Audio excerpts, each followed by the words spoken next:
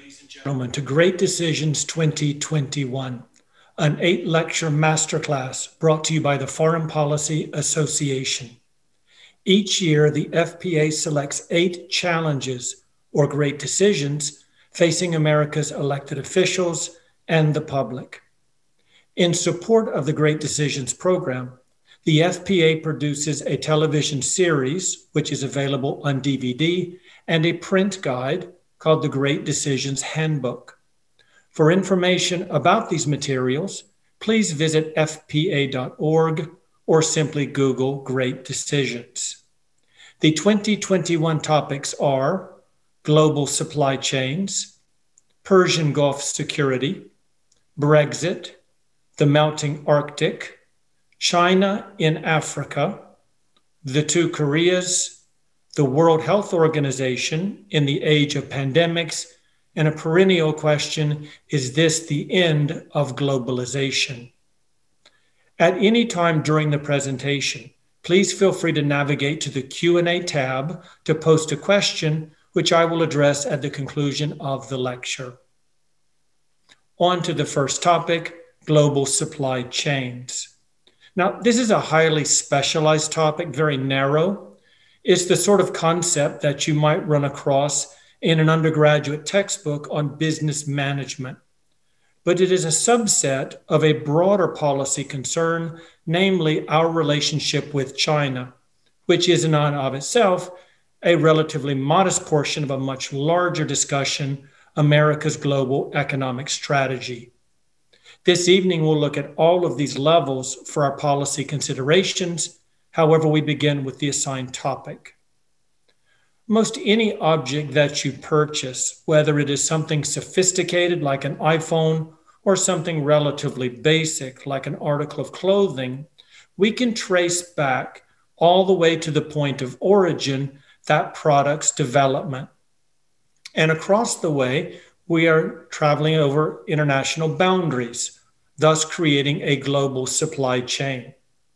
In reality, the supply chain is more complicated than the graph that you are looking at because at each of these points of production and assembly, there are subsidiary supply chains, oftentimes international as well.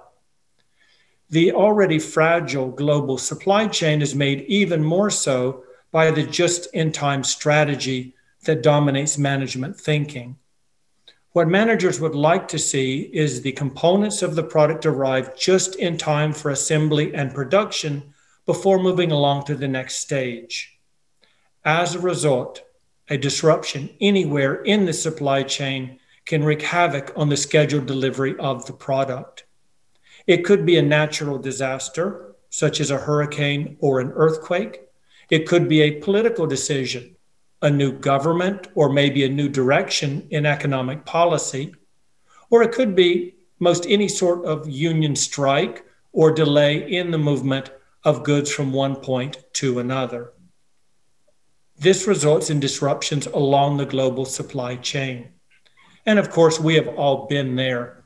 You go to look for that perfect item, maybe a gift for a special person, maybe it's something that you need for work or for play, and it simply is not available. It all boils down to supply and demand. If the supply and demand meet in the middle of a graph, that's called a condition of equilibrium. And at this point, consumers can purchase items at a reasonable price and producers can sell them at a reasonable profit. But if there is either a decline in supply or an increase in demand, our point on the graph changes, resulting in the increase of the price of that good. According to classic economic theory, we don't need a government intervention to create equilibrium. The higher price point results in new suppliers, and thus we are moved back to the proper point. The price drops, and everything is in equilibrium. But what we saw beginning roughly one year ago was that some supplies, these are commodities that aren't matters of convenience, but health and quite literally life and death simply could not be provided fast enough. The demand skyrocketed well beyond any ability to supply the world's market. And that, of course, was the result of the novel coronavirus. COVID 19 devastated the supply chains, causing all sorts of disruptions in some of our most basic functions in life. This is what a supply crisis looks like. The demand is overwhelming the supply. And no matter how many market forces are at work or how much government intervention is deployed, there's not going to be a balancing of supply and demand. And thus, we experience this as we look for essential commodities in response to the global challenge of the pandemic. It isn't simply the masks that we desperately needed and were out of supply. It was also the surgical gloves. It was the gowns that our frontline workers need to properly protect themselves in dealing with people with the virus. It was also the ventilators, which are absolutely essential to saving people's lives, and even the vaccines. Now, granted, it may not be that we need a global supply chain for the vaccine itself. Many countries did develop their own COVID 19 vaccine. But what about the bottles and the caps on the bottles, the labels on the bottles, the syringes, the ability to transport the virus vaccine? All of this means that global supply chain disruption can result in national security questions. Hi, Jeffrey. Sorry, sorry to interrupt for just a moment. We're just getting a few notes that uh, some people uh, the volume isn't high enough on their machines. So if there's any way you can, can try and speak up, that would be fantastic. Uh, thank you. From the control room, I'm asked to speak a little bit louder for those who are having difficulty hearing me, and I'll do my best to do that. The China supply crisis for PPE. Prior to COVID, we can look at a country's needs as it relates to its domestic production. So, this is the United States. And as you can see, our needs are represented in the blue circle. Our domestic production of gloves, of masks, of gowns, and the like was significantly less than the country's needs. But that was perfectly fine because a central component of global economic thinking is called comparative advantage. Accordingly, a country doesn't need to produce everything that its citizens needs. It should rather produce what it's most profitable at. It can then trade that item and with the money purchase items that its citizens need. So as you can see with China, its production of masks and gowns and gloves was significantly larger than the domestic demand. And thus we received a supply from China so that everyone who wanted a mask two, three years ago could easily have one. COVID, of course, changed everything because our demand skyrocketed. It wasn't just the United States, every country in the world saw a dramatic increase in the demand for basic commodities like masks, including China. And as much as we tried to increase our production of these personal protective equipment, we weren't able to keep up with our own domestic demand. China's production increased to the point that it was actually overproducing, and yet its supply was reduced to the United States. And what China was doing was sending these critically needed commodities to third parties, to other countries. This is called COVID diplomacy. And it's a very good way for China to sort of cover over the fact that COVID began in its country. This graph indicates the extent to which countries are dependent upon China in their supply chains. And as you will note from the colored graph, the United States is at a very high end of the scale, 35% or more. In fact, many of the most critically needed commodities to confront the COVID crisis are coming through China at a clip of 90 to 95%. And that includes ventilators, here you can see a pretty typical problem we've been facing for the past year or so, simply out of masks and out of hand sanitizers and, and all the other basic things that can keep us safe and sound from the virus. We also had a shortage in toilet paper. Now, this is a bit odd because toilet paper really isn't a necessity, even in the age of COVID. But this is something that happens every time there is a global supply chain disruption or a shortage in a commodity. For example, in 1973, OPEC nations bound together, their cartel embargoed oil to the Western world. This created a small recession in Western Europe and North America. It also made people fear for basic commodities, and there was a toilet paper run in 1973. So there doesn't have to be a connection between the shortage and the demand for bathroom tissue. In fact, last February to March, there was a 700% jump in consumer demand and purchase for toilet paper. I was not a marketing major, but I can't imagine ever thinking that this would be a good idea of advertisement for a restaurant. Come into our restaurant, eat our food, and we will give you free toilet paper. Such is the nature of advertising. We are incredibly vulnerable to Chinese supplies. It's not just the PPE, it's also critically important components of our military, our aircraft, and our tanks. It is the automobiles that we drive. It is the microprocessors and computer chips. We've seen a dramatic increase in demand for computer chips since last February when COVID really began to affect our daily lives, mainly because people, if they're going to be stuck at home, decided to buy more computers and handheld devices and games for the kids and that really took a lot of the microprocessors and computer chips off the market. So here we are in March of 2021, approaching the period, and our automobile industry is grinding to a halt because they don't have enough processors to go into the cars. Cars today take between 25 and 50 computer chips. General Motors announced just today that they're looking at a $2 billion shortfall in revenue because of slowed production as a result of the supply chain just cannot keep up with the demand for the computer chips. It's the devices that we take for granted, the iPhones, the handheld devices. It is our public transportation system.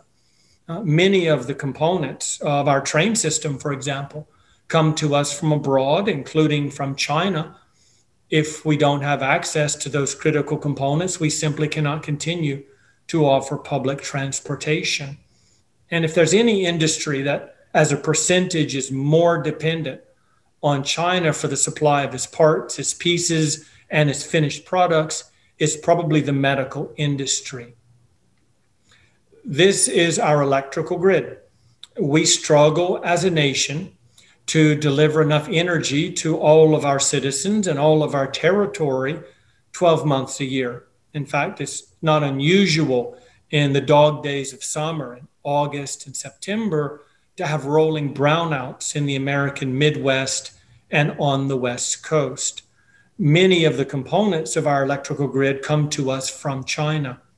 Imagine if China decided to boycott the export or simply reduce the number of exports, establish an export quota on the US for its electrical grid components. That could lead to a very real crisis and an economic downturn in our nation. Supplies have gone global, especially over the course of the past 50 to 75 years. We can look at our country, for example, our domestic supply as it relates to our foreign supply of goods that we consume. And it wasn't terribly long ago, maybe two or three generations, that here in the United States, we could produce almost everything that we needed. You can see a very small sliver of yellow in that, that diagram. Well, that's the foreign supply. But as we've evolved, as we've become more sophisticated as an economy, as our consumers have become more demanding in the volume of products that they will use, there's been an enormous gap that has been created. So that today we don't supply our own commodities at the clip we used to. And as you can see from this graph, we are now highly dependent on foreign markets. This global supply chain has become a bloodline for the American economy and for our fellow citizens. So, what is going on? Why is it that the United States is so dependent on foreign markets and supplies for basic commodities? One of the reasons is that we are a high consumption modern society. We are no different than Australia, New Zealand, Japan, Western Europe, Canada to the north, and increasingly Mexico to the south. As an economy grows, as people become more wealthy, they have greater expendable capacity, and they very often do expend that extra money. Secondly, a very strong desire for white collar careers. Very few of us advise our children and grandchildren to work in construction or to go into the coal mines or to try to work in a textile industry. A shockingly small percentage of Americans put a shovel in the ground, even though a century or two ago we were largely an agrarian society.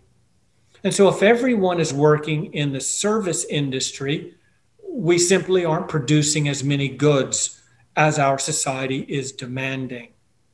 The calculation, placing profits over people, we don't like to think of it that way, but that really is the rationale for moving so many jobs abroad. People who are in charge of large industries, they know full well that if they relocate south of the border or to Asia, they will be making unemployed large numbers of people but that profit motive is very real. And for publicly held companies, it's hard to blame the CEO for doing everything within her or his power to maximize profits and to result in a quarterly bottom line that is always in the positive. There's also the reality that our global trading system has become more legal and freer by virtue of the many different accords and treaties that we have signed. The LIEO is the liberal international economic order. Don't let the word liberal throw you. In American politics, a liberal is normally someone who believes the government should intervene in the economy, perhaps redistributing wealth and even opportunity. But in economic terms, a liberal is Adam Smith. A liberal is a capitalist, a free marketer. So when we say liberal international economic order, we're speaking of a free trade system that was created by and directed by the United States following World War II. And then finally, something we simply cannot overlook is the extraordinarily high production coming out of Asia. When you have a region of the world producing so many widgets and gadgets, VCRs and automobiles, articles of clothing, you're going to rely upon them to provide you with their commodities, especially given that in those countries, oftentimes there aren't the same labor laws, there aren't the same environmental regulations, there isn't always social security taxes abroad, and unions are oftentimes illegal. So there's an enormous advantage to the producers outside the United States.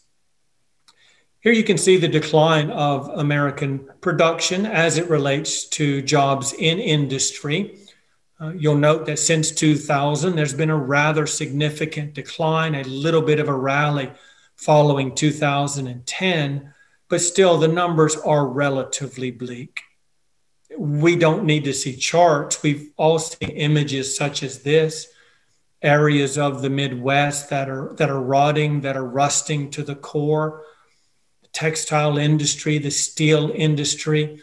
Many of these towns have now been abandoned because the good jobs are gone. Most of them have been outsourced. A very popular book was written and published in 2016, Hillbilly Elegy by J.D. Vance. This is his story. Vance was born in Kentucky. And like so many others, his family followed the Miami River up into Ohio, where they settled. And it wasn't a very pleasant life. It's Appalachia. And there have been many, many books. And as you can see here, a movie on Netflix from J.D. Vance's book that chronicle the struggles of people in areas such as this. Now, the Vance thesis, which is pretty common among people who have literally pulled themselves up by the bootstraps, people who have made a good life for themselves, they often say, if I could do it, then anyone could. And his argument is that people are a product of the decisions that they have made. So Vance decided to get serious, to go all the way through high school, to join the military, then go off to college and become a well respected attorney. And he argues other people could have made the very same choices. They didn't have to choose to drop out of high school, to fall into alcoholism and substance abuse. What J.D. Vance misses is that so many of these people's lives were literally ripped out from underneath them. Just look at the millions of lives that have been outsourced, hundreds of thousands to multiple countries. This is something that is a reality of world politics, and it's a reality of the evolution of America's economy. We were once agrarian, we became industrial we entered into post industrial economic status, and today we're largely a service sector economy. Some 72% of the US economy is made up by service sector jobs and service sector activities. Many of our industrial and production jobs have simply been outsourced to other countries. And it's relatively easy for a politician, or even more so, an economist, to say, well, if all those coal miners lose their jobs in West Virginia and all of those textile workers in North Carolina become unemployed, they'll have to retool, they'll have to learn a new trade. This is much easier said than done. Because in more traditional communities, it's not just a job, it's a way of life. And what you do reflects not only your own ethos, but a social ethos of your community. So when the major industries go under, everyone can't just go off to the local community college and learn how to code for computer programming. It's simply not that simple. So, what the economist and the politician should say is that yes, people are losing their jobs as our economy and our society evolves. And those, those jobs won't be easily replaced, but in the aggregate, more Americans will get jobs given the opportunities presented by a truly global international economy. So, what's next in the United States? What's industry may just go away and go away forever? We know the textile industry has been devastated by outsourcing, by free trade agreements, by lower labor standards and cost of production abroad. We know the steel industry has been devastated as well. The question is can you imagine what might be next? Is it possible that here in the United States, the country that invented automobiles, that perfected the muscle car, where cars play such an incredibly important role in our romantic version of our country and its development? Is it possible that it is next? Could we be a country that no longer makes automobiles? I mean, that would be a significant blow to many jobs. About one sixth of all American jobs are linked directly or indirectly to the automobile industry. Now, granted, they're not all in production. Many of them are in sales and marketing and finance and the like. But it would be rather shocking to, to think of a time when the United States is no longer producing that one commodity that we can all agree upon is essentially an American ideal. Next on the horizon, probably electronic vehicles. EVs are all the rage these days. The world production chain is having a difficult time keeping up with the growing demand. Increasingly, municipalities and, and governors, even US presidents, are talking about moving beyond fossil fuel driven automobiles and adopting an EV standard. President Biden, new on the job, has already announced his plan to move the US into electric vehicles for the federal vehicle fleet system. And General Motors has already announced in 2035, only 14 years away, it's going to zero out fossil fuel automobiles. It's going to go completely with zero emission vehicles. And that means, of course, EVs and, and other technologies. Can we do that? There are many who argue if any nation can lead the way in technology and development, in new ideas and sophistication of automobiles, it should be the United States. The challenge, however, is that we still will be dependent on other countries. We cannot produce enough in the United States to efficiently, effectively, cost effectively provide vehicles that are electric. If you look at lithium, and of course, batteries are primarily lithium, this is a wonderful invention. These are batteries that hold full charge until the very end. They're very rapid in recharging. They're essential for any electric vehicle. The overwhelming percentage of lithium products are shipped out of Chile and China. So don't be surprised when when leadership in companies like Tesla are in Chile and in China negotiating deals to acquire the lithium that they will desperately need to keep their production rolling. So even if we're at the forefront of the technological breakthroughs, we can invent the perfect electronic car that has zero emission, and yet we're still reliant upon a global supply chain. Let's look at the international treaties that have really fueled the globalization of world politics since 1945, but especially since the Cold War ended and fundamentally changed our relationship with other countries as it relates to the supply of goods. Now, these deals have been drafted in a cumulative fashion, meaning we reach a bilateral deal with one country and then a multilateral deal with a group of countries and as we move forward, bringing more and more countries into our trade deals, we're seeing the cumulative effect that more and more of the world is committed to free trade. As a result of that, our producers have access to greater amounts of foreign products and locations for production, which means we're going to be shipping more products into the United States. Manufacturing jobs, therefore, will be in decline because we simply cannot compete with the low wage structure in developing nations.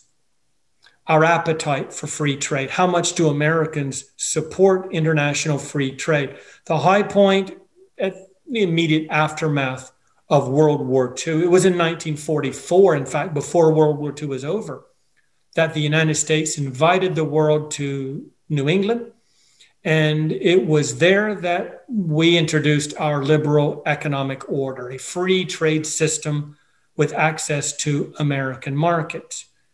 If we fast forward 50 years to 1994, NAFTA is a regional free trade agreement, bringing one country to the north that essentially is the mirror reflection of the United States, with our neighbor to the south, which is much poorer Mexico into an agreement.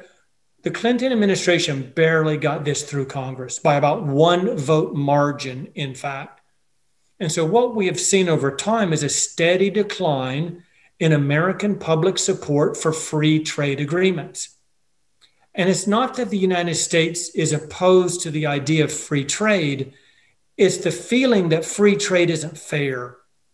That if we're going to provide pensions and working salaries, if we're going to provide Social Security benefits, health care, the trade isn't very fair with countries that don't provide those services. I've heard many people say in the last four years that President Donald Trump basically turned America against free trade. And that just isn't the case. He was riding a wave. He recognized early on, well back into the 1980s, that America was souring in his trade relationship with Japan at the time and China later. So he took advantage of the declining American appetite for free trade to call for some pretty radical changes in our free trade agreements, arguing on the campaign trail that NAFTA was the single worst treaty ever drafted and that he would either end it or fundamentally change it. And he did indeed change it. Here you can see the leadership of Canada, the United States, and Mexico signing off on the newer version of NAFTA. This is without doubt a foreign policy success because the new NAFTA is better than the old NAFTA. It's 25 years newer, and that means it takes into account many of the new realities of the global economy. I mean, imagine when NAFTA was first drafted in the early 1990s, there really wasn't much of an internet, uh, and, and so much of the things that we look at today as common weren't yet available then. And so this upgrade in NAFTA was a strong move for the Trans Pacific Partnership. This is an Obama crafted piece of legislation, an international accord that tied the United States to a multitude of countries in the Pacific, South American, in the Pacific, and over in East Asia. Donald Trump decided that was a bridge too far, and he signed an executive order that effectively withdrew the United States from membership in the TPP. It remains to be seen how Joe Biden will address the Trans Pacific Partnership. Every four years, a politician comes along running for high office, maybe the House, the Senate, or even the presidency, and they'll talk about their commitment to American jobs, to bringing back those good, high paying jobs with benefits in classic industries. But there's very little fanfare. The trend lines are incredibly clear. Here you can see employment expectations over a 10 year period. And if you look at the very bottom of the graph, manufacturing is projected to be a net loser in jobs. And so that tells you it's, it may be easy on a political level to promise to bring back jobs. It's a much more difficult thing to actually pull off. All right, we've thought a lot about global supply chains and we've talked a bit about China. Let's look now at the big picture America's global economic strategy. And this is a meaningful debate because on one end of the spectrum, we have the policies of mercantilism, and on the other, we have the policies associated with capitalism and free trade, and then all of the points in between. China functions like a mercantilist nation. Its government plays a very heavy handed role in directing the economy, essentially picking the winners and doing away with the losers. And in so doing, China is able to promote a maximization of exports to the rest of the world and minimize imports to the best of its ability. No nation is insulated from international trade, but there are varying degrees of dependency, and China does its best to reduce its dependency upon foreign markets. As a result of these policies, China is able to accumulate a huge amount of cash reserve because of its favorable trade balance. It's going to plow that money back into society, into infrastructure, and into its industries. Japan was a mercantilist nation after 1945, and it, to a large extent, is one today. We originally were a mercantilist nation. When the United States was young, when we did not have an industry that could compete with the Europeans, we largely adopted these mercantilist, anti capitalist strategies. But after World War II, a very careful calculation resulted in the decision for the United States to not only fully embrace capitalism and free trade, but to make it mandatory for all countries in the world. Adam Smith is, of course, the father of modern capitalism. And it was through the spirit of Adam Smith and people like David Ricardo, who argued for free trade, that the United States informed the world here at Bretton Woods in 1944 that the new global economic system would be fundamentally different than in the past. Many of the delegates, representatives from other countries, allies of the United States, truly could not believe their ears when they learned that the dominant power was going to open its economy for their trade, but it was not going to demand initially that they do the same. We were going to allow them a process of opening up over time. And most of them have done so, though others, Japan and China most notably, have been extremely reluctant to open up their boundaries to genuinely fair and free competition. It's called the liberal economic order, and it was introduced on an international scale. Here's the thinking a collection of nation states. Some of them take to trading with each other, exchanging commodities, goods, and even services. And in so doing, they begin to form an informal security community. There's a cost benefit analysis before any armed intervention. How much is it going to cost us to invade that country, blood and treasure? And how much are we going to gain by the war? And it's logical to, to calculate that the more you trade with a country, the higher the cost of going to war with that country because you're going to lose all of that trade. And generally speaking, we go to war with countries we don't trade with very much. So these nations are trading together. The likelihood of war goes down the more they trade with one another. It essentially changes their character. Countries on the outside, maybe they begin to trade with this group. They see the benefit and they become part of this security community. Others are going to experience higher levels of conflict, either with the free trading nations or with themselves. And over time, they may decide we don't like this approach. We prefer to be prosperous as opposed to aggressive. And so they join the trading ranks, conflict diminishes, and the security community expands even further. Two countries on the outside looking in these are the mercantilist nations. These are the countries that want to trade with all the blue countries, but they don't want to open up their market for competition. Japan and China are classic examples. And what we've decided to do, first with Japan after World War II and with China this century, is to let them in the system anyway allow them into the free trade system, even though they're not playing by the rules of the game, creating enormous unfair advantage for them. Asia, we talk about, is rising rapidly in world politics, China in particular. It's a little bit of a misnomer. I wouldn't call it the sudden rise of China, I would call it the return of China. Because as a percent of the world economy, Asia 300 years ago was about 65% of the world's economy. Then we have imperialism, colonization, the century of humiliation. By 1950, Asia's percent of the world economy was barely 20%, and today it is roughly 53%, depending on which numbers you're looking at. So we've clearly seen the return of Asia as a major player in global economics. So, how did China do it?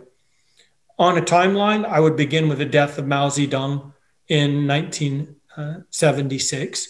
He was an ideologue, he was a communist through and through. He was succeeded by Deng Xiaoping, who was incredibly practical, saying once that it doesn't matter the color of the cat as long as it can catch a mouse.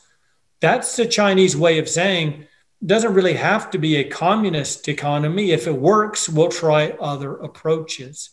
The Cold War's end in the late 1980s, the rapid opening of global trade markets when the Communist International collapsed, the decision to allow China into the World Trade Organization, and the very favorable trade terms that were part of the WTO. All of this played an important role in China returning as a dominant player in global economics and in production. Just look at manufacturing. The United States is in blue. This is only a 14 year graph, and look at how dramatically we've declined in manufacturing and how rapidly China has more than tripled its share of global manufacturing. So, made in China has become something that we've grown greatly accustomed to. I mean, whether we're comfortable with it or not is secondary. It's just a reality that so many articles that we purchase are made in China, and so many more products that we purchase are at least partly made in or assembled in the People's Republic of China. So we have this global supply chain, and if a significant portion of it is running through one country, through China, then that gives that country enormous amounts of leverage. Exemplary rare earth metals. They are called that because these 17 to 35 minerals are found in low concentrations in the ground. You have to scoop up a lot of dirt and sift through it to find enough rare earth metals to be used on the market, but they're used everywhere in industry and automobiles and glasses. I mean, virtually everything that's sophisticated is going to need a rare earth mineral. China produces 85% of the world's rare earth metals. And as a result of that, the whole world is dependent upon China allowing this supply to continue unfettered. It wasn't always the case. Not that long ago, we were the dominant producer of rare earth metals. And then we saw a rapid decline. One of the reasons environmental concerns and legitimate ones. It is stunningly devastating on the environment to produce rare earth minerals. These are the sorts of scars that do not go away very quickly. Another reason we stopped seeking out rare earth metals here in the US, we could always buy them from China, which reflects something of a short sightedness. China, on the other hand, has become the dominant provider of rare earth metals, in part because the government said we will become the dominant producer, in part because the Chinese went out to countries around the world and purchased leases and rights to their rare earth fields, and a long term desire for leverage over the rest of the international community. Here you can see the decline of America and the rise of China as it relates to the rare earths. 2010, classic example of using rare earth metals. China and Japan were in a bit of a spat, a diplomatic row. China cut off for a considerable amount of time the shipment of rare earth metals and minerals to Japan, which was harmful to its economy. At any moment, China could turn off the spigot of rare earth minerals. So, what are we left with? What are we to do in such a world where we're so highly dependent on other countries for the supply chain that runs through their markets? We have three basic options. The first is renewal of engagement, what we've been doing since 1944, but with even more energy and commitment. Option number two is to decouple, especially from countries like China. And option number three is the adoption of a new industrial policy. Let's begin with renewed engagement. This is certainly the line of least resistance. It's what we're accustomed to, it's what our economic blueprint says to do. Continue to allow the mercantilist to be part of the economic system in the hope that over time it will come to them as a rational option to change their color to become more and more like us. And I don't mean that ideologically, I certainly don't mean that ethnically or politically, but rather purely economically. For them to calculate that they're actually better off if they opened up their borders to foreign competition and joined in a meaningful way the global economic system. That's the re engagement option. It is reflected in their entry into the World Trade Organization even though they may not have qualified based upon their mercantilist undertone. Option number two decoupling of the economies, separating from China. This would be a long term process. And immediately that raises concerns about whether we could pull it off. Because here in the United States, every four or at least every eight years, we tend to get a new party in the White House and very rarely do they see eye to eye with the departing administration. But this is the sort of policy we would need to pursue for a generation. It unfolds in stages. We begin to shift supply chain to others, not relying upon China as much. Stage two, we begin to apply export restrictions on technology. We already have some, we would need to add many, many more because other countries like China, when when we export technology, they're able to duplicate it. They're not as respectful of intellectual property rights as we would like, and they can take advantage of these technologies. Stage number three duties, anti dumping penalties, countervailing penalties. In other words, punish the Chinese or others for not playing by the rules. Stage number four restricted investment in China or preventing China from investing here in the United States. You can see by this approach, we're going to decouple from China's economy. That has largely been the strategy that President Trump approached. What are the goals of decoupling? Well, it's not about making up for lost time. To be frank with you, it's about avoiding future losses, more jobs outsourced to Asia, redirecting those jobs back to the United States. But the cost will be significant. Billions of dollars in government assistance would be necessary because we can't just pick up and start producing computer chips at a level that is necessary for the American consumer market. And don't forget, the Chinese are going to countermeasure. They're going to respond with their own duties, their own quotas, their own tariffs, and their own countervailing policies. In fact, China, in some ways, is decoupling from the United States. This is the $1.54 trillion Silk Road. These are Chinese investments in the infrastructure of other countries in the region and well beyond, including portions of the Middle East and even Western Europe. So, in some ways, the decoupling is well underway. Option number three is adopting a brand new industrial policy. It is deciding from the top that we're going to return as an industrial power in the world. We're going to reverse our tendency towards a service economy and go back towards industrial production. How do we do that? It will take ages. We can be somewhat ambitious by only targeting certain sectors of the economy. So, textiles, we're going to bring back, or perhaps steel production. One or the other, we're not going to do it wholesale. We're only going to find a few narrow industries, or we could try to fundamentally reorder our country's infrastructure.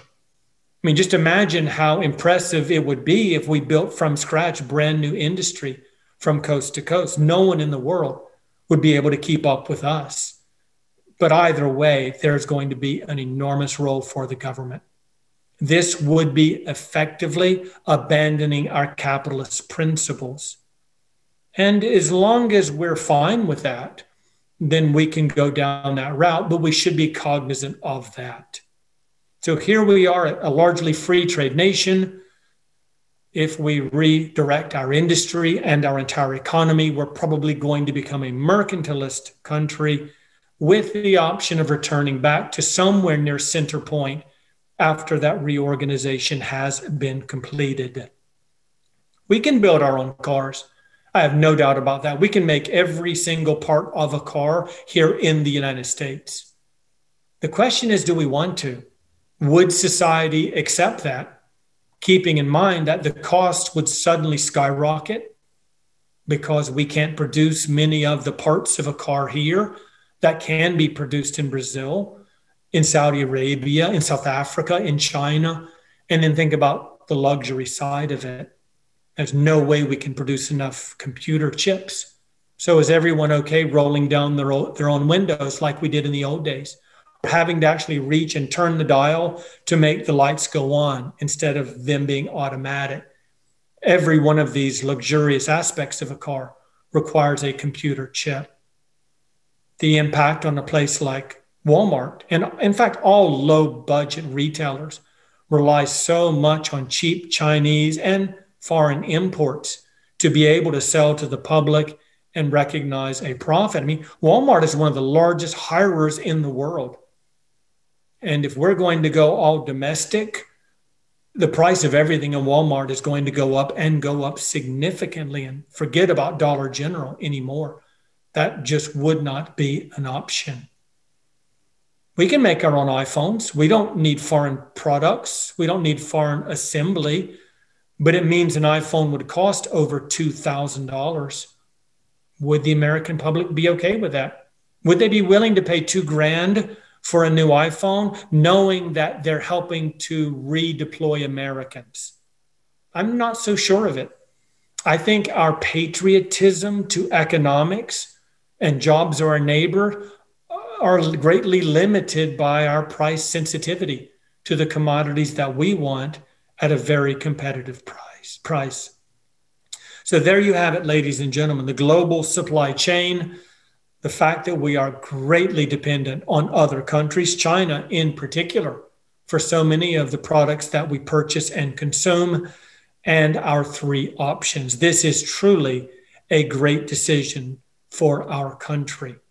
What will be fascinating is watching the United Kingdom unfold. I mean, this isn't quite like a decoupling or an industrial readaptation but the United Kingdom has decided to leave the European Union. And in so doing, it's justified that by saying we're going to save jobs here at home. We're going to redirect traditional jobs in fishing, in mining, in agriculture back into the UK. And of course, Brexit is one of our great decisions for 2021. We'll look at it in more detail in a few weeks, but it will be fascinating over the coming years to see if Brexit really does work out for the Brits or if they will miss those very smooth trade relations with the 500 million people who live on the European continent that are members of the European Union. That completes our very first great decision of 2021. This is a masterclass. There are seven more lectures. They will be held on Wednesdays at 6 p.m. One week from today, we will look at Persian Gulf security. It's been a pleasure of the Foreign Policy Association to deliver this first lecture free of charge. Moving forward from lecture two through eight, there will be a rather modest $7 subscription fee for each lecture. That helps us offset the cost of producing this lecture series and staff hours and in platform rentals. We certainly hope that does not deter you from joining us for the rest of the series. We would like for you to follow us on Facebook at Foreign Policy Association or on Twitter at FPA underscore org and at Real Dr. Morton. I'm now going to turn to the Q&A to address some of your questions. If a supply chain is to be collaborative, can it work with a lack of trust? Trust is a very interesting word, Fred. It's something that I hear a great deal in my field of international law. How can you reach agreements with countries that you do not trust? Well, the answer is world politics isn't based on trust. It is based on rational calculations what is good for my nation, what is bad for my nation, and how does the cost benefit analysis turn out? So it's not so much about having another country trust you and vice versa. It's rather them convincing themselves it's in their best interest to keep the supply chain open, to allow for the movement of goods, components, and services. I would also add to that a very healthy dose of deterrence wouldn't hurt, meaning well, if China wants to cut off rare earth minerals to the US, if we had something equally valuable that we could threaten to turn off the spigot going to China, then we would have a deterrent capability. And I do believe in some bare knuckling from time to time. Mickey Kantor was our trade advisor in the Clinton administration. He took the gloves off with Japan. He made it clear to them you will open your market for many of our goods or luxury car parts will not flow out of Japan into the United States. And it was a policy that was successful. Thank you, Sarah. How will President Biden Biden's Make in America disrupt global supply chains? Well, first of all, it remains to be seen if that is any more than a political slogan. He may be genuine. His, des- his desire to build back better, as he calls it, may be a genuine desire and it may turn into policy. That remains to be seen. It's a lot easier to say it politically than it is to make it happen on the ground. So we're going to have to have buy in by the American public. From Jeffrey, shouldn't the US government require a supply chain security plan as part of the contracting process with nodes in other countries? I think that is an excellent suggestion, and I have heard some discussion about exactly that. The question is whether or not we can pull it off in all of the distinct areas that we're trading with other nations. Would it be a comprehensive supply chain security plan that deals with China in general, or would you need individual plans for individual commodities?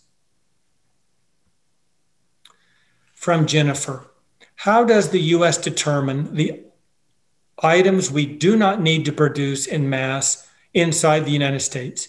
In what ways will this now change given COVID and that pandemic crisis that has revealed some of these challenges? The beauty of capitalism is that you don't need central planning, that the market determines winners and losers, and demand comp- creates supply so it's not as if we're aggregately deciding what we do and don't need to produce in the US according to our free trade mantra and capitalism that's decided by people on the ground. And that's why capitalism is such a decentralizing and alluring economic philosophy. But you're right Jennifer. If we decide to become more mercantilist to redirect our production here at home then we will have to decide what exactly we do need and do not need to produce. And what we're likely to do is base that on a combination of national security and the size of jobs that will be produced. Because at the end of the day, there's always a new election on the horizon, and you want to be able to deliver the good news to your constituents. One more question How will the increasing tensions with China affect the supply chain of products and increase the cost for the public. I don't think that tensions with China are a given to increase. That's up to us. We, as the dominant power, are looking at China as a rising power. That doesn't mean it's automatically a rising threat. I know it's very common in the United States to say China is automatically a rising threat to American global leadership. And I will speak about this in much more detail in the eighth and final lecture in the series, but we are largely going to determine the extent of increased tensions between China and the United States.